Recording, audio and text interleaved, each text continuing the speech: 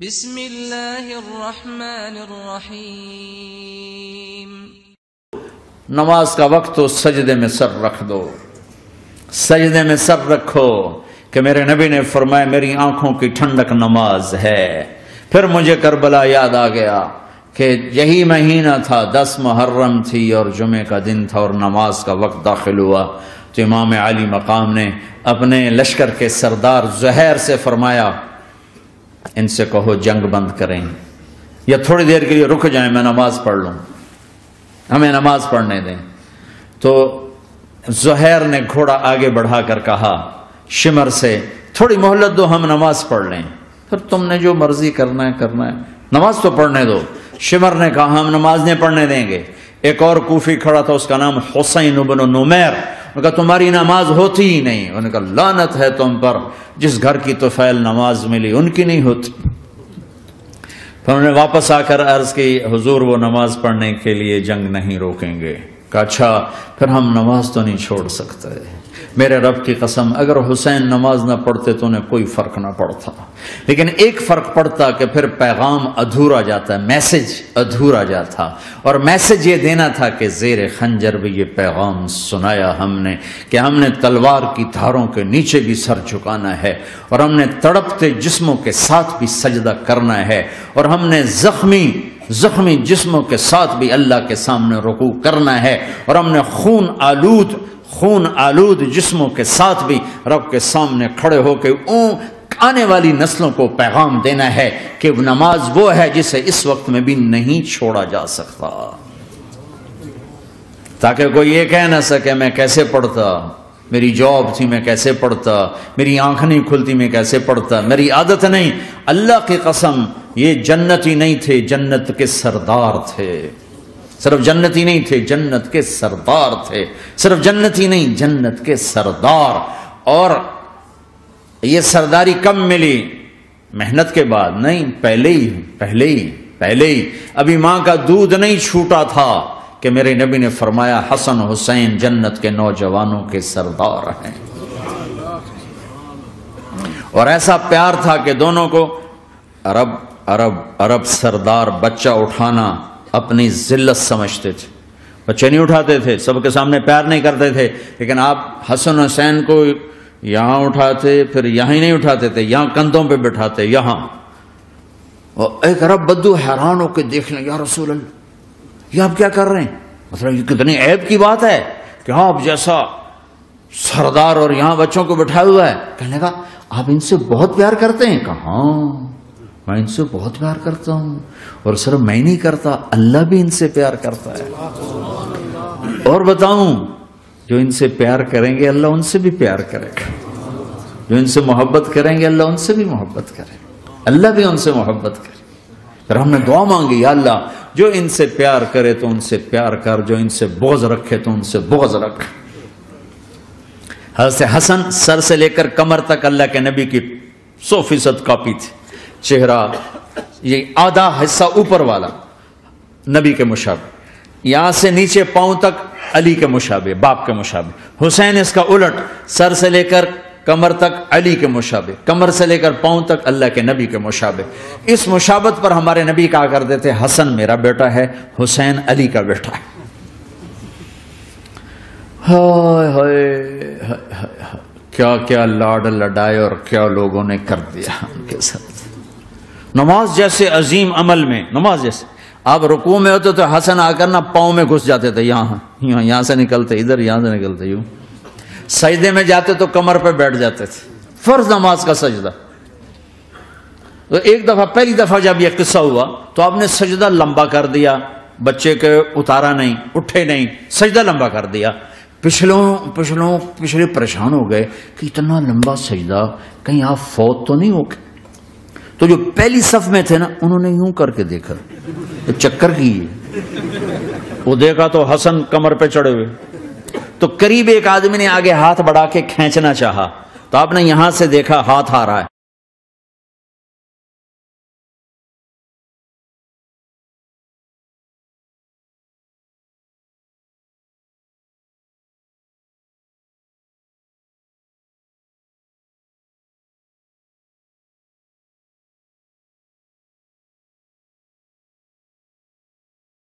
تو آپ نے اپنے ہاتھ سے یوں اشارہ، نماز میں یوں اشارہ کیا کہ میرے بچے کو نہ چھوڑو۔ جب حسن خود اترے پھر آپ سجدے سے اٹھے کبھی حسین چڑھ جاتے تھے، کبھی حسن چڑھ، دونوں ہی چڑھتے تھے۔ یہ سر حسن کے بعد، کبھی یہ، کبھی وہ، کبھی یہ، کبھی وہ۔ اور آپ حسن کو جب چھوٹے تھے، زیادہ حسن، تو آپ حسن کو یوں زبان دکھاتے۔ اتنا بڑا عظیم نبی کیا ہو رہا تو وہ زبان آپ کی زبان بڑی سرخ، خوبصورت، تو وہ بچہ سمجھتا شاید یہ کوئی کھانے کی چیز تو آگے یوں ہاتھ مارتے پکڑنے کے لیے ہاتھ مارتا پھر وہ بیٹھ جاتے، پھر آپ کہتے یہ میرا نبی گھر کی زندگی بتا رہا ہے۔ اور تمہیں تو بچوں کے پاس بیٹھنے کا وقت ہی کوئی نہیں۔ بیگم بھی کم جاب پہ جا رہی، خامد بھی جاب پہ جا رہا۔ پیچھے بچے ڈرگ بیچ میں، بیچنے پہ لگے۔ اب تم کس کام کے ہو؟ کیا کرو گے اس دولت کو؟ جب نہیں ڈرگ بیچو، گستاخ ہو گیا، بدتمیز ہو گیا۔ تو اس دن دولت کو آگ لگا دو جا کے آپ۔ اپنے بچوں کو ٹائم دو، اپنے بچوں کو ٹائم دو۔ عورت کا کام کمانا نہیں ہے، عورت کا کام نسل کو بنانا ہے۔ قنات سیکھو قنات تو آسانی سے مینج ہو جائے گا۔ قنات نہیں تو پھر تو دنیا کے بادشاہ کی بھی حوث پوری نہیں ہو سکتی۔ کھیلتے تھے، حسن حسین کی کشتی کراتے تھے۔ دونوں بھائیوں کی کشتی کراتے ایک دفعہ دونوں کی کشتی ہو رہی اور حسین ذرا کمزور پڑ رہے تھے تو آپ اس کو شابہ دیتے شاباش شاباش شاباش۔ تو حضرت فاطمہ کہنے لگی، ماں بھی بیٹھی تھی۔ کہنے لگی، یا رسول اللہ، آپ حسین کو شاباش دے رہے ہیں، حسن کو کیوں نہیں دے رہے؟ تو آپ نے کہا، یہ جبریل میرے پاس کھڑا ہوا یہ بھی حسین کو شاباش دے رہا ہے، تو میں بھی حسین کو شاباش دے رہا ہوں۔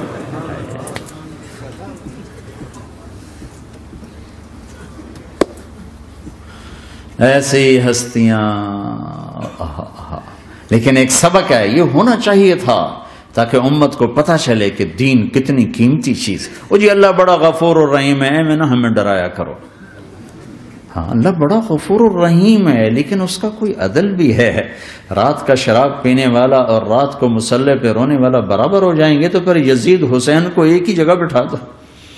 پھر کربلاؤں کے لیے رونا چھوڑ دو۔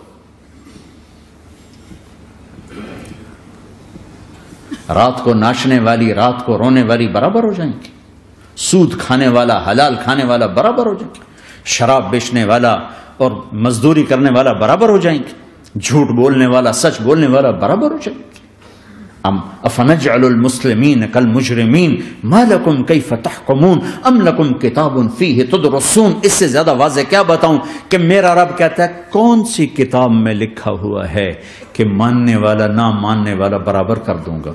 کون سی کتاب میں؟ اللہ کو یہ کہنا پڑ رہا ہے ام لکم کتاب فیہ تدرسون کس کتاب میں یہ لکھا ہوا ہے؟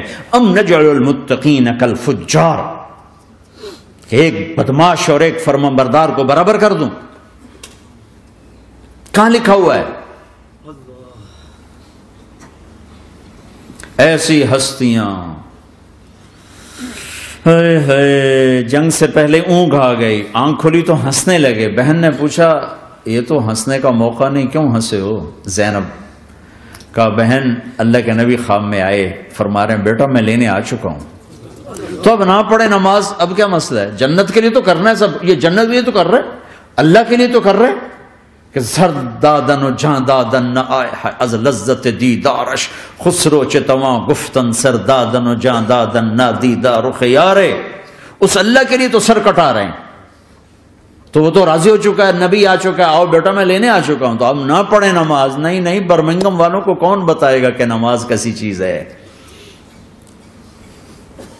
ان کا جی وہ نہیں جنگ رو کرے گا پھر چلو نماز پڑھو نماز تو نہیں چھوڑی جا سکتی آدھوں کو روک دیا تم جنگ کرو آدھوں سے کہا تم نماز پڑھو آدھوں نے نماز پڑھی آدھوں نے جنگ کی پھر جنہوں نے نماز پڑھی کہا تم آگے بڑھ جاؤ ان سے کہا تم جا کے پیچھے اللہ کے بارگاہ میں سجدہ کرو چودہ سو سال کی تاریخ میں ایسے نمازی میری نظروں سے نہیں گزرے اور ایسی نماز نہیں پڑھی گئی نبی کے زمانے کے بعد آپ نے بھی سلاط خوف ایک پڑھی تو نبی تو نبی ہوتا ہے۔ اور کیا ان کا حال تھا؟ خون و خون۔ اپنے خون سے وضو کیے یا کربلا کی مٹی سے تیمم کیے؟ جب سجدوں میں سر رکھ کے سبحان ربی العالی کہا ہوگا، تو دھرتی میں کیا ہلچل مچی ہوگی؟ نماز نہ چھوڑا، نماز نہ چھوڑ، نہ کوئی عورت، نہ کوئی مرد، نماز نہ چھوٹے۔ اللہ کو اور کبیرہ گناہوں سے بچو، کبیرہ گناہوں سے، بڑے گناہوں سے بچو، بڑے گناہوں سے بچو۔